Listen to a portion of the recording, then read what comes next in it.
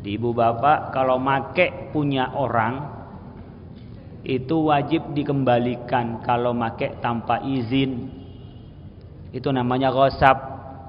Yang paling mudah adalah mau itu make sandal orang itu gosap. Itu itu paling mudah. Mau kena bukan untuk wakaf tapi dipakai itu gosap. Ibu bapak yang make mau kena atau sandal hasil gosap maka hilang pahala ibadahnya. Enggak dapat pahala ibadah. Jadi mau kenanya mau kena orang bukan wakaf, ditaruh dipakai aja sembarang. Itu enggak dapat pahalanya ibadahnya. Mau wudhu pakai sandal, bukan sandal wakaf, bukan sandal masjid, tapi sandal orang. Sudah diompet-ompetin karena sandalnya sandal kulit atau sandal kalep nggak enak kalau kena air diompetin dipakai untuk uduk ya. seenaknya karena nggak mau pakai sepatu. Maka itu namanya gosap nggak dapat pahalanya ibadahnya. Tetapi selain tidak mendapat pahalanya ukhidha biraddihi ia wajib mengembalikan. Dipakai ditaruh di mana-mana tidak dikembalikan pada tempatnya. Mungkin ada kendaraan orang dipakai seenaknya. Sepeda punya orang dipakai wa arshinaksihi kalau ada yang berkurang maka wajib mengembalikan pokoknya. Wa ujrati mislihi dan biaya-biaya. Andaikan mengembalikan butuh biaya maka wajib dikembalikan. Al ghasabu minal kabair. Ghasab itu bagian dari dosa besar. Saya tidak tahu seberapa besar dibanding dengan orang berzina atau riba tapi sama-sama dosa besar yang nama besarnya seperti apa? Allah yang maha tahu. Tergantung seberapa besar merugikan orang lain. Karena ghasab itu adalah merugikan orang lain. Ajaranallahu taala minhu wa min asbabi ghadabihi. Mudah-mudahan Allah Subhanahu wa taala ya menjauhkan kita dari sebab-sebab yang mendapatkan murkanya. Mudah-mudahan Allah menjauhkan kita Wal aslu adapun asal fi tahrimihi dalam keharamannya ghasab ayatun kasira adalah ayat-ayat yang banyak. Banyak sekali ayat yang mengharamkan ghasab. Minha di antara ayat yang mengharamkan ghasab Qauluhu ta'ala adalah firman Allah Subhanahu wa ta'ala wala ta'kulu amwalakum bainakum bil batili wa tudlu biha ilal hukami li ta'kulu fariqum min amwalin nas. Jadi kita ini Bapak Ibu sekalian ayatnya yang mengharamkan bahwa kita tidak boleh gosap adalah surah Al-Baqarah ayat 188 wala ta'kulu amwalakum bainakum bil batili wa tudlu biha ilal hukami li ta'kulu fariqam min amwalin nasi bil ismi wa antum ta'lamun.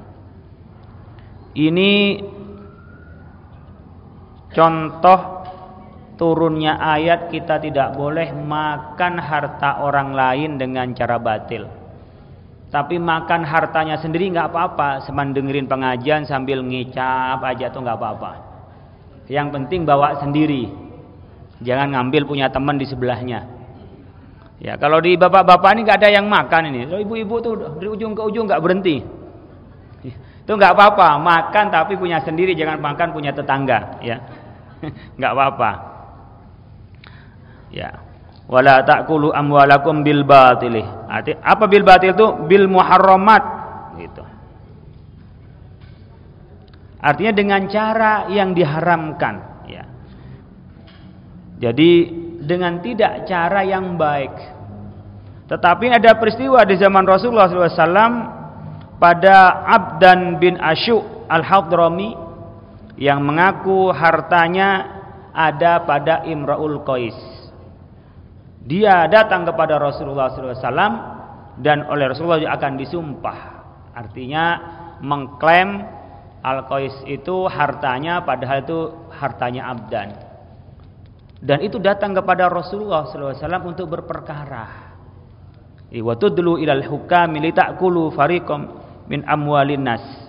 Jadi dia memakan harta orang lain dengan cara mengadu kepada pimpinan sehingga bisa dibebaskan.